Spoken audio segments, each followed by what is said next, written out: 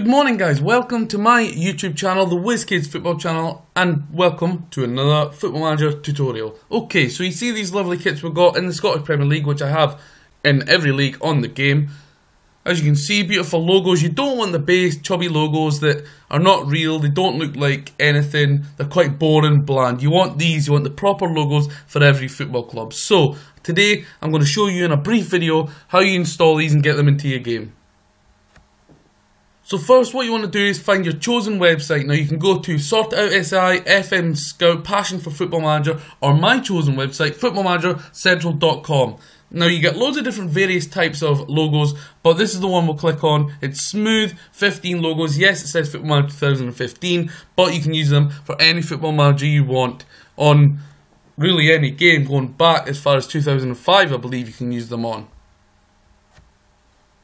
So if you scroll down the very bottom of the post on the website, you will see the download here. So once you've downloaded that, what you have to do, guys, is go on to WinRAR. Now, if you haven't downloaded WinRAR, get it for free. You can also get WinZip for free.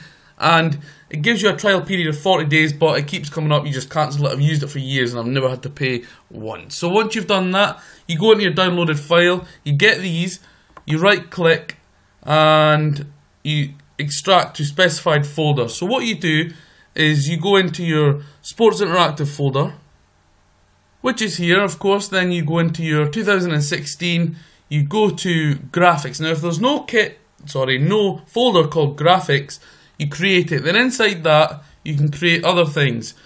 So as you can see at the top, I've got kit, but the next one, more important one we're looking at is logos. So you create logos, then you go back into WinRAR, and that is the folder you click in the drop down to download into.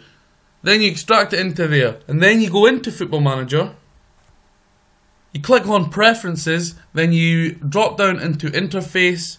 You untick using cache to decrease page loading times. Tick Reload Skin when confirming changes, which is done basically when you want to see visible graphic changes. Then you go to Reload Skin. And with a bit of luck, guys, your logos as seen here on Celtic. You'll get the small one up here, you'll get the big one here. Hopefully they will be in your game. It's a very easy thing to do. There is Dundee, Dundee United, Hamilton. Of course, you can download these in individual packs and I'm sure there are some mega packs out there concerning logos. So pitch your game up, guys. It makes it look so much better. So if you want my recommendation, head over to footballmanagercentral.com, click on the logos, download them, install them into your game, and do the same with faces, guys, and with kits, of course. Thanks for watching, guys. That's a short tutorial on how to install logos for clubs into the game, and it also downloads and installs club, eh, sorry, country flags, as you can see here, Scotland and it does it for every other country also. Thanks for checking out the video guys. If you haven't subscribed, please do and give the video a like and I'll see you again soon.